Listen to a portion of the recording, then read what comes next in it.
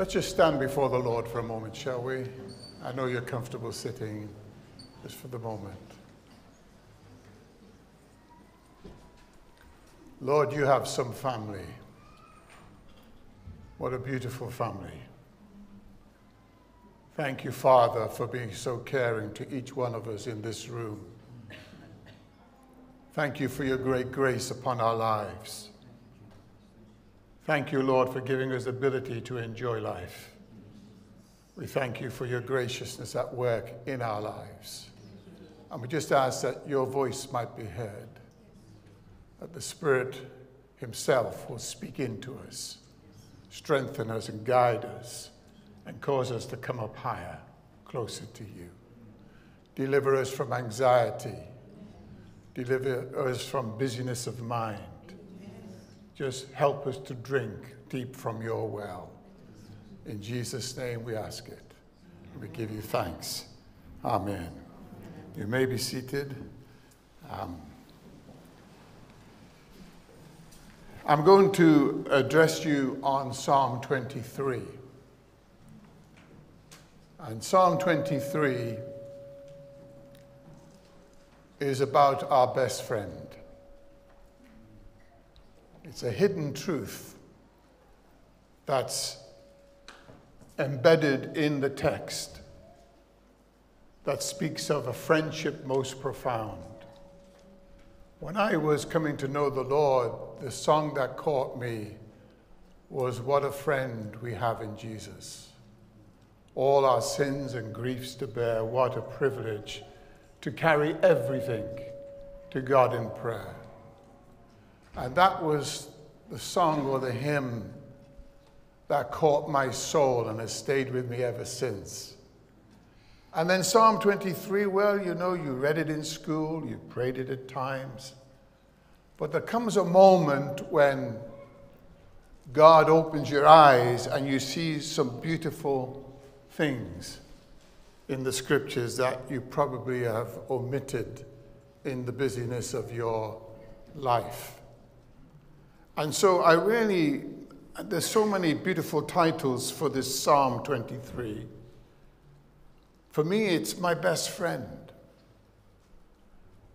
For everybody else, it's the inc- incomparable friend. There's no friend like him. What a friend he is. Amen? You can smile, you look so sober.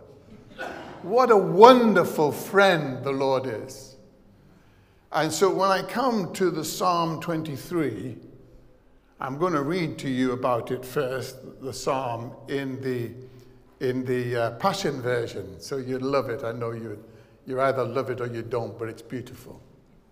And I'm going to read that poetry to you in a few moments.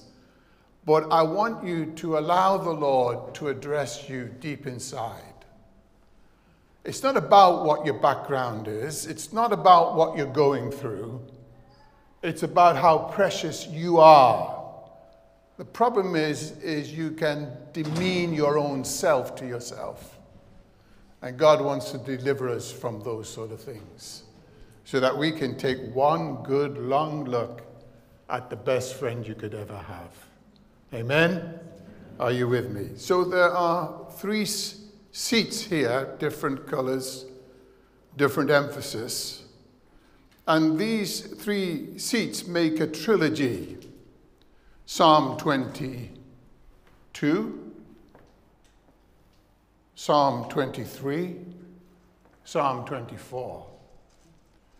And it's somehow amazing how this trilogy is brought together to encapsulate the reason why we have no doubt about who God is and how much God cares.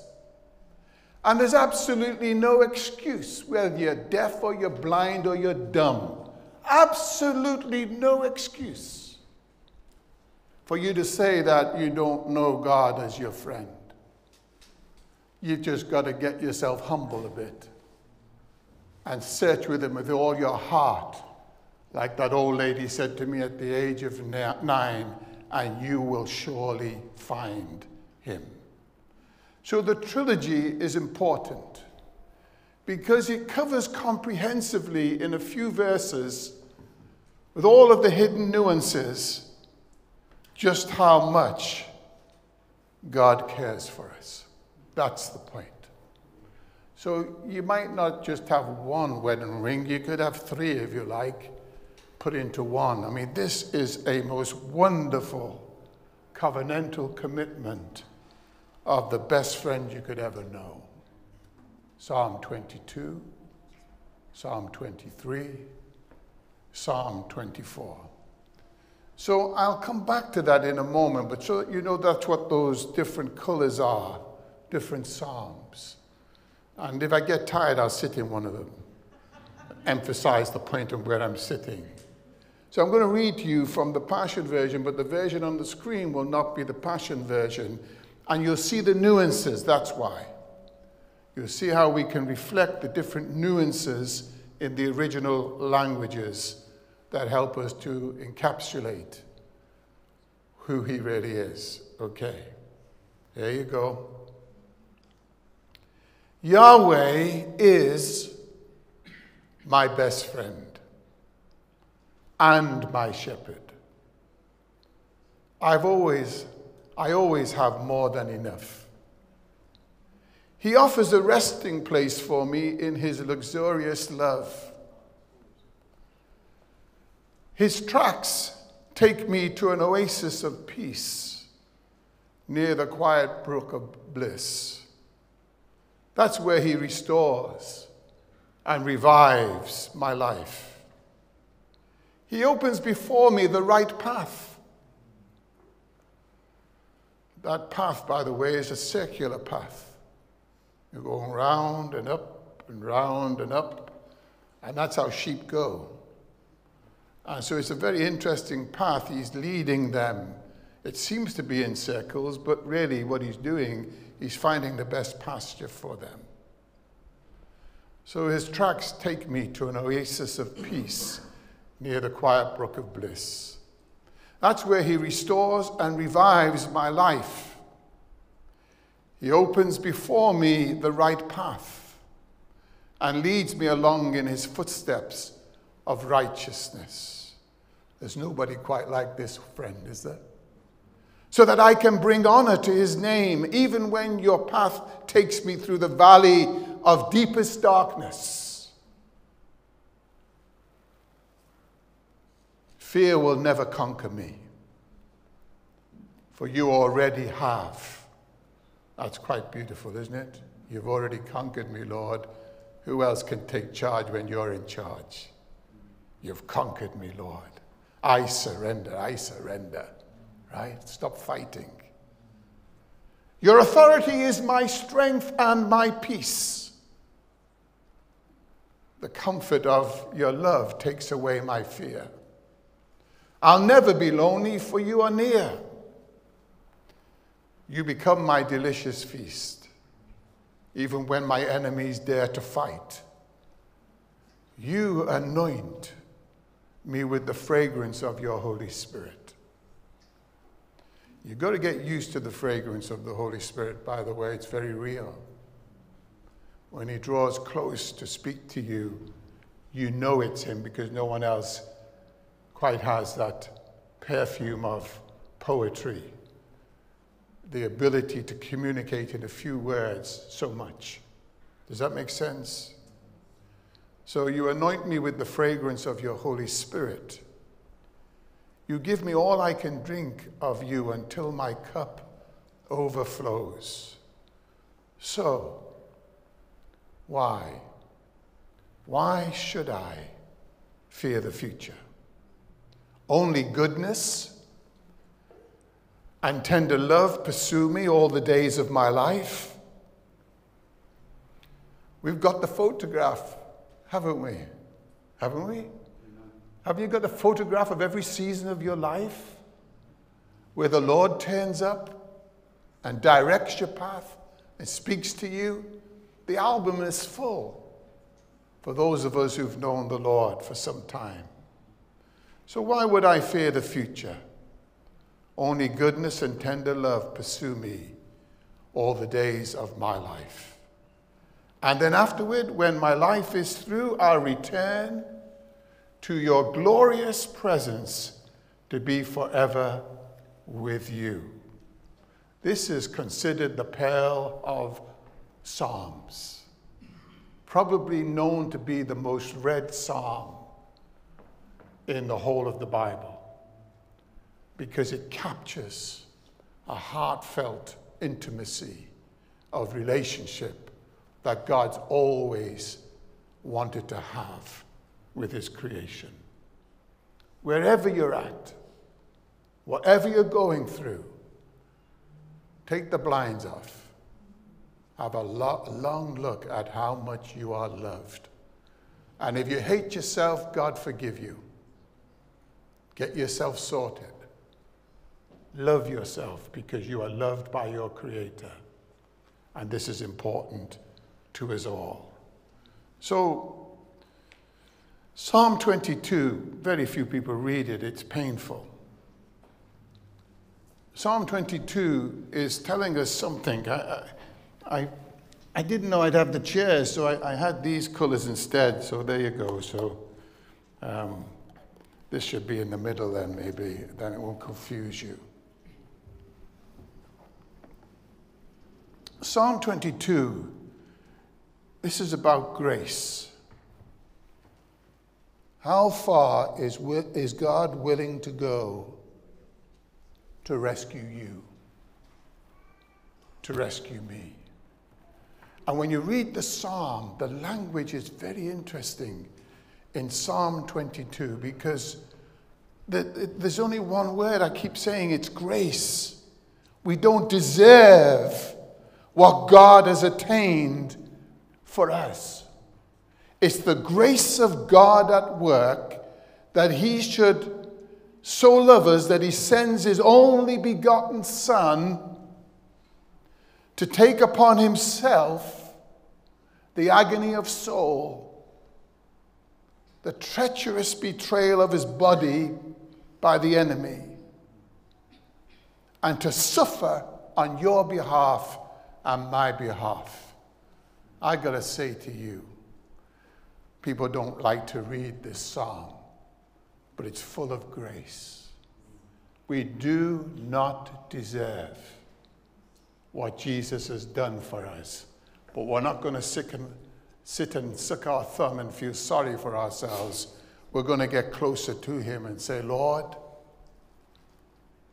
you laid down your life for me. And that whole psalm goes through the treachery that goes on. When Jesus is on the cross, it's fully explicit. It's probably got a rating. It's very difficult to read it without feeling the pain and the agony that Jesus is going through. But there are, I think, 31 prophecies fulfilled in this psalm. 31 prophecies in the whole of the Bible that are fulfilled in this psalm to do with the torment, the pain, the grief, the betrayal, the agony of body, soul, and spirit. And those psalms, by the greatest of theologians over centuries, agree it's all wrapped up here in the grace of God. How far do you want God to go to reassure you that He cares. This is the grace of God. Amen. Psalm 23, that's quite interesting. Psalm 23 provides us with just how much He loves us. You say, well, that tells me, no, you're, you're dealing with the exposure of the devil. There's such a person in the universe, the devil. He's cruel, he's mean, he's evil, he has power, he's restricted by God Himself. But it shows you when he lets go with all these words like the bulls. When it talks about the bulls, that word plays with different nuances. It's talking with evil violence. The kind of violence that doesn't just shoot you, it rips you apart while you're alive. And there on that statement going on to expose what Jesus has to go through. It talks about how they stare at his bones. You've got to go there. If you don't go there, you'll never appreciate how loved you are. But it's all you can see is his bones. Not one of them is broken. In his agony of soul, he's crying out to the Father, his care for his mother.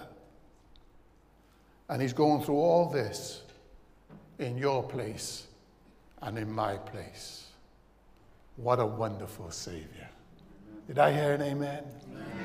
But Psalm 23, it's lovely, really. It's about guidance. Shepherd. That word shepherd means intimate protector. Just take those two words intimate protector, caring shepherd. The word shepherd mixes up these two words in the original language. It's very beautiful because it's your best friend who's willing to lead you, to guide you, to oversee your life, give you the wisdom that you lack, the knowledge that you need, the love that you cannot express without a revelation of his love for you. The Lord is my shepherd. I shall not lack, want, be without what I need to make the journey successful. So, what's the first one, did we say? Grace. The second one? Pardon? I can't hear you. Why are you so shy? I can't hear a word you're saying. Shout out the words. Well, yes, he's the guide through life, both in this and the next. And we can open that up in a moment because I'll finish with Psalm 23. This one is very powerful. It's the glory of God. And the three go together in a most beautiful way because God's never been outside of the suffering heart. God's never a million miles away. He's closer than your breath that you've borrowed from Him, by the way. Just know that. I've seen that so many times in hospital when the borrowed breath is taken away. But here is the most profound psalm that talks about the glory of God. And what happens is there's a crescendo in this psalm and it's one of high praise to the King of Kings and to the Lord of Lords. The glory of God is revealed. Not only that, you discover that the earth is the Lord's and all that's within it people, animals, movement you know nothing about, creatures you've never seen before he owns the whole world. He owns my life. He owns your life. Whether you love it or not, He owns it. So you see the glory of God. The earth is the Lord's. I don't mind being environmental, but I don't want to be God. It's too big for me. I want to care for what God has entrusted to us. But I don't want to worship nature. I want to worship the glory of God for what He is able to produce in the world that we have. It's a wonderful world, isn't it? Can you smile for a moment because my glasses are fogging up and, and I can't see your faces as easy? This is the goodness of God. There's a little play on words in these Psalms. You really need to study it. We haven't got time this morning. You need to study it, but there's a play on words going on in this trilogy. It talks about the birth of a whole generation, and it's hidden in Psalm 22. It's there in the writings expressing why David composed that psalm. And it's telling us that God's got control of the morning, the birth of a whole new generation. I want you to know there's no generation, hear me carefully, There's no generation that comes and goes without the intervention of God. If that was not the case, then I don't know how I could have found God. But he turned up when I didn't expect him, I didn't know him. But something in my heart was searching to understand what life was all about. And when he turned up, I will never, ever, ever forget because he keeps turning up ever since. And he gives you wisdom that you don't have of your own making. So, this is a glorious trilogy. The cross, as ugly, it didn't exist when he wrote this psalm. No one knew what the cross was. Only the Romans, those naughty people, invented the most twisted, painful, torturous machine to pull the bones of a living person apart while they're living. But the description is so clear. And the description of demonic activity, whether it's the bulls, the several other animals mentioned, but their evil intent exists. But the Lord is greater. Are you hearing me? Of course, there's an evil attack. On every generation, it comes in different ways. But God is bigger. God is greater. When He turns up, even the buildings shake. I remember introducing Duncan Campbell from the revivals in Scotland. And he didn't say many words, but the few he said were enough to put the fear of God in you. But I remember him explaining when the miners were coming out of the mines. And the people were coming out of work and they were falling on their knees in the fields and coming to know Jesus Christ without a Billy Graham. Are You hearing me? God turned up and opened the eyes of the heart. And they saw Jesus. And then they gathered together to pray. And as they're praying, the presence of God came amongst them, and the building started to shake. And he described, I was opening the meeting for him. Everybody else was afraid of him, very austere. But as he expressed what was going on, you realize God is all powerful. And God can turn up at a moment's notice and even shake the buildings and get hold of, well, you know, in the 1904 revival when they stopped swearing at the animals and they didn't understand them. You know all that. It's, but here we've got the, the pain that God suffers. You, you have pain. You have pain. God is associated with pain. The greatest pain for him is the loss of one life without the knowledge of him. That's the truth. But he feels your pain. You feel it's awful? Of course it's awful. Pain is not nice. No, unless you're a weirdo. There's nothing nice about pain, but I'm talking about the pain of heart and soul and mind.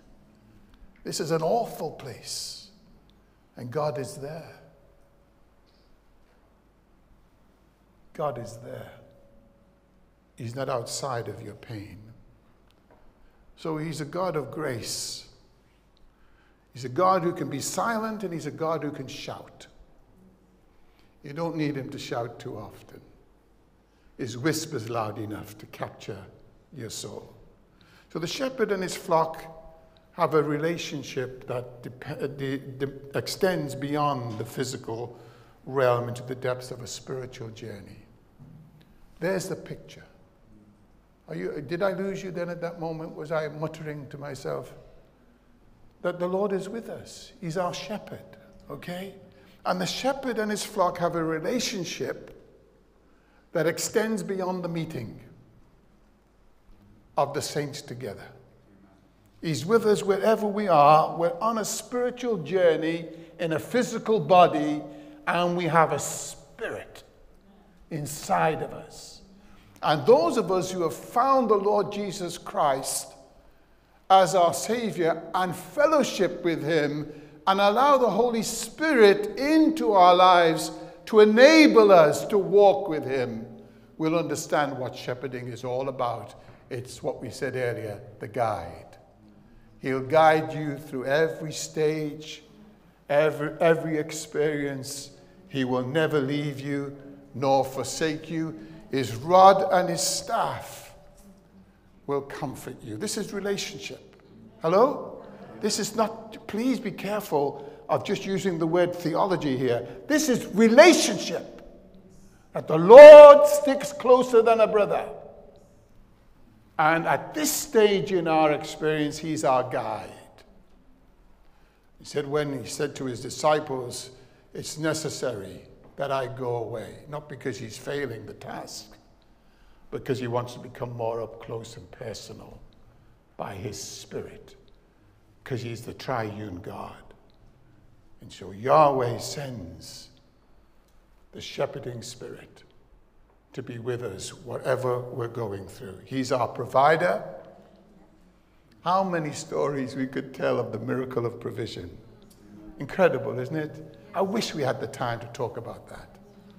The wonderful provisions of God, insight when you're in the dark, to see things the way He's showing you. It's a wonderful privilege, very humbling too. But I always have more than enough would you say that to the person next to you? Or you can sit by and tell him if you like, but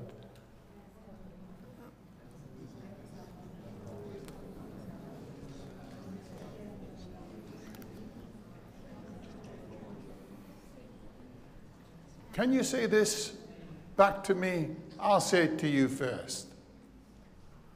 God is my provider, my protector, and my provision. Would you say that back to me? God is.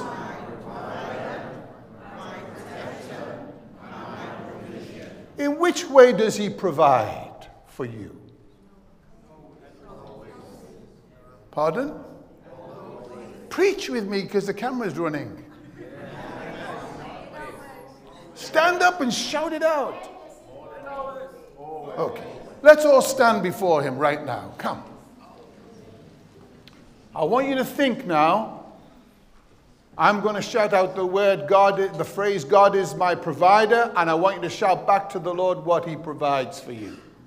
Are you ready? So I'll do it first. That's for the camera's sake, by the way. But we're just getting on with God being with us. And the people are going to shout out back. So if you're watching from the camera, hello, Wake up, shout back in response to the Lord. I'm going to say it, He's my provider. I want you to shout out in which way is He providing. And you might have to bring more than one thing out of your chest, but just do it. Ready? The Lord is my provider.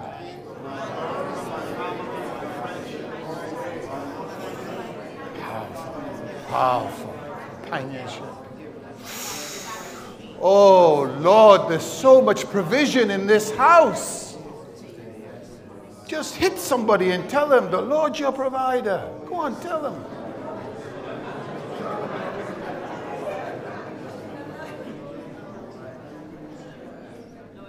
You may be seated. That's in case you were falling asleep, by the way. But now, don't leave the room right now.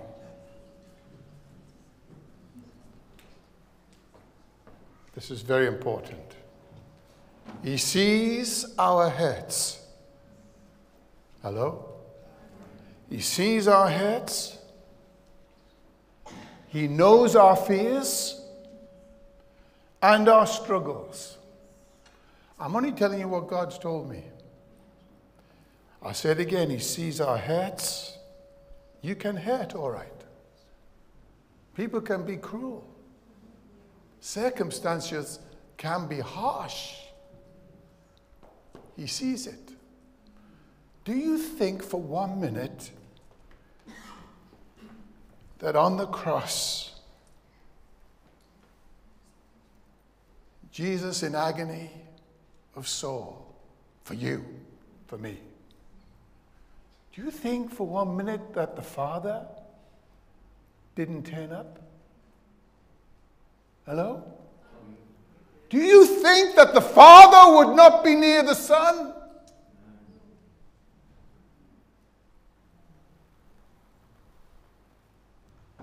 He's there.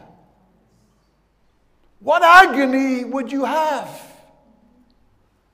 seeing your precious Son being crucified, tortured, spat upon, mocked, hated, ridiculed, demonic attacks, one after another, ripping him apart. Do you not think that the Father would be a million miles away? No. He's up close. But he's got to go through this to represent you. You say, Well, I don't know about all this. Well, what's wrong with you? What's your beef? What else do you want from God? He doesn't have to dirty his hands, but he'll take the clay and he'll shape it. He doesn't have to share his breath, but he breathes through you every day of your life. He's, he's up close and he's personal and he takes the pain. Why? Because he's dealing with a vicious, evil lawyer who tries to catch him out. So that if he doesn't do this the right way, there's no hope for humanity. But this is the way. If they only knew what they were doing, he was giving birth to a generation out of crucifixion. And that's what the first title of that psalm talks about. The phrase, you'll see it in your Bible. It'll give you just a little phrase, and it's talking about the birth of a whole new generation coming out of suffering. You say you're having a hard time. I get that. I don't know any generation that hasn't had a hard time. But what I do know is the Lord is up close and personal. Don't treat him like a swine. Don't treat him like somebody ugly. He is the lover of the universe. And the truth is, we have no idea of how beautiful the next chapter is. It is way beyond comprehension. Our bodies could not cope with the revelation of how beautiful the next phase of humanity is. Hello? Amen. I have no doubt about that. I've crossed over once, that was enough. And what I saw, I just couldn't get back. He sees our hurts, He knows our fears. And let me tell you this some people don't understand this, but anxiety is a form of fear. And if you're anxious, anxious, anxious, anxious, anxious, anxious, and you're trying to make a decision out of anxiety, you are stupid. You do not ever allow anxiety to direct you. You never ever make your choices based on fear. It's got to have a degree of oxygen in it faith. That I believe the Lord is my provider. Right? I heard one amen. amen. He's a lovely God, isn't he? I've got to hurry up because I think it's nearly finished, but, but he sees, he knows, he hears, and he heals. There's so much more you could say. He's a good, good father. Amen. Amen. I, I reflect on my own father. With all of his shortcomings, he was a great ball of fun. And he came to the, he was, he was um, what did I call it now? Uh, uh, music he used to play. Yeah, he was, he, yeah, he's a bit like our drummer's here, but he was, he was a jazz He was a jazz man, right? And when he came to the Lord, it was the most beautiful moment.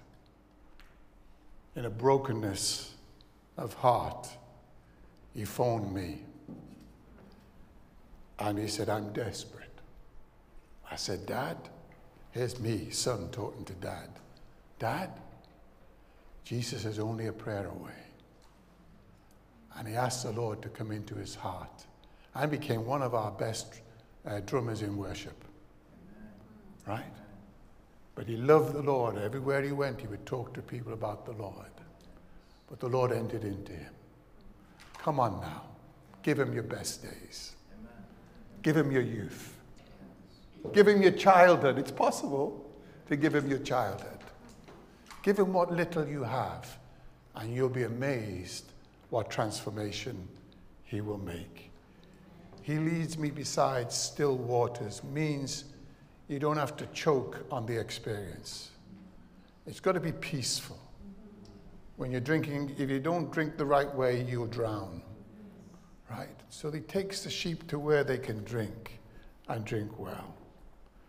But then he anoints my head with oil.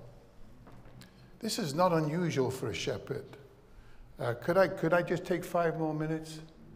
The shepherd, he has a crook. He has a staff and a crook. Correct? So the one with the hook, he uses from experience, if you research it, you'll see if there's a sheep that's full of lice or infection, he'll hook it, put it to him, and anoint it with oil to heal its disease, and then push it into the pen, right? So it's, it's important to know that, that God will get the hook on you sometimes and pull you and treat you and speak into you and heal you, right?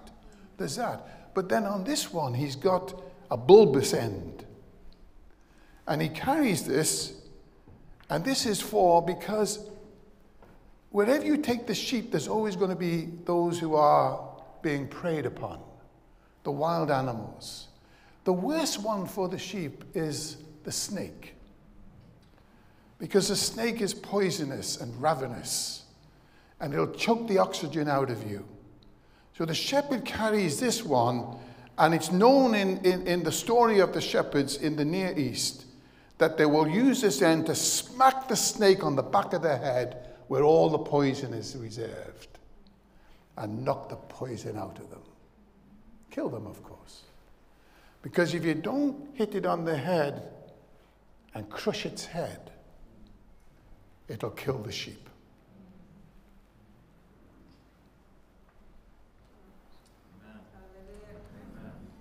The devil's poisonous. He's a liar from the beginning. He stinks.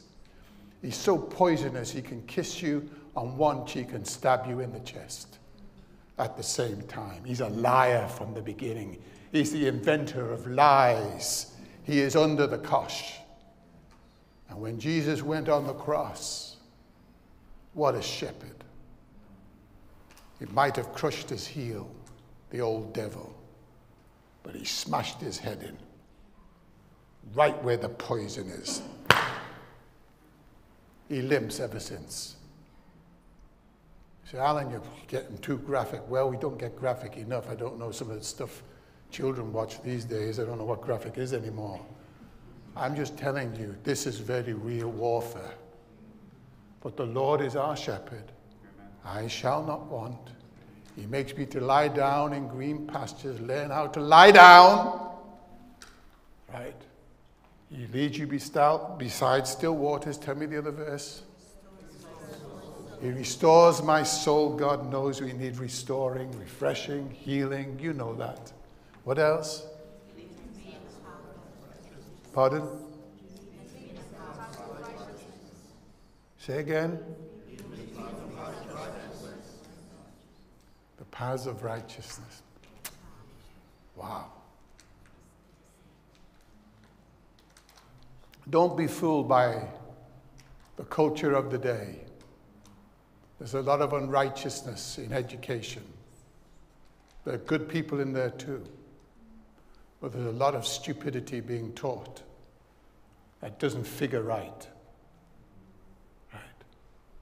But he'll lead us through the paths of righteousness. Right? What's next? For his name's sake. Yes, carry on. Ah, though I walk through the valley of the shadow of death, we save this for funerals, don't we? But actually, it's not about the funeral.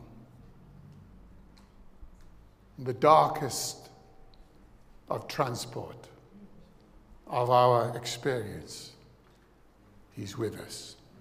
He'll, he'll nudge us, He'll remind us, He'll provoke us, but He'll take us through it. But the focus is not on the dark valley. The dark valley, the ravines, there's a 40 mile ravine. We, we've talked about this. A 40 mile ravine in the Near East where David would be known to have traveled with his sheep. And all of the wild animals were there, dark valley. But it goes on to say what?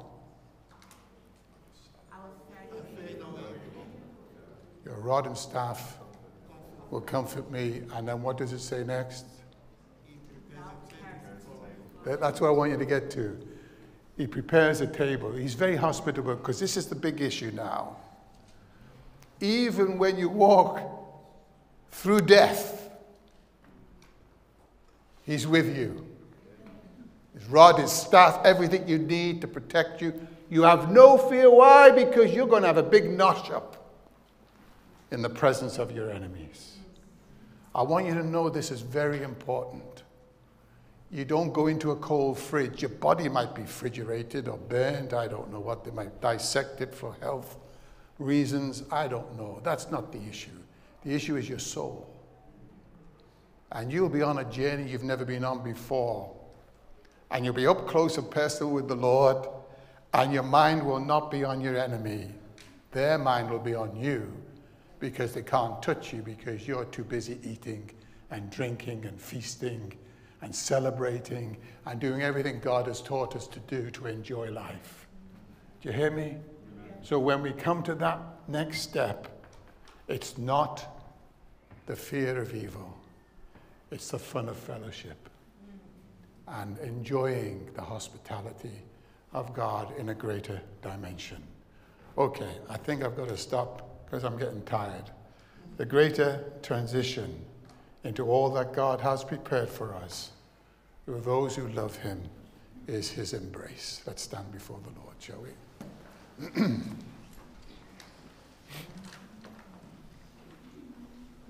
I don't write prayers, but I wrote a prayer. No more tears, no more pain, no more loneliness and poverty.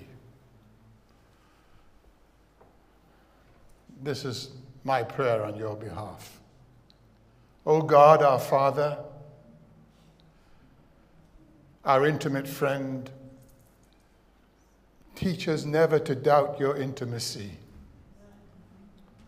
and generosity toward us. Thank you, thank you, thank you for the green pastures.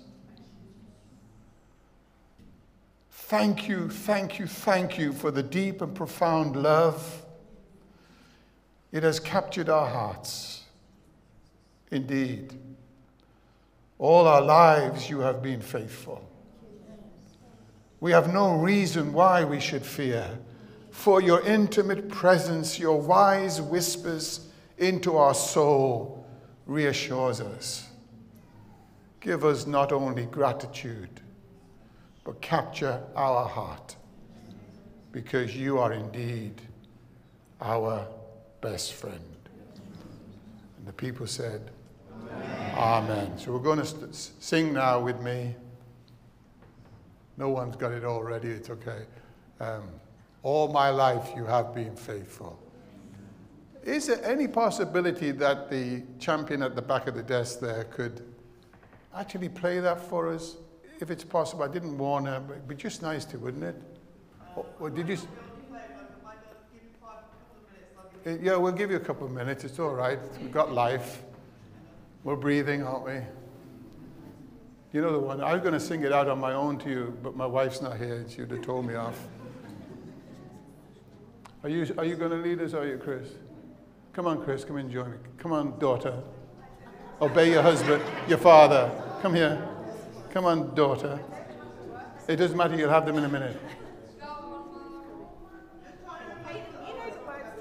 Caitlin, do you know this song?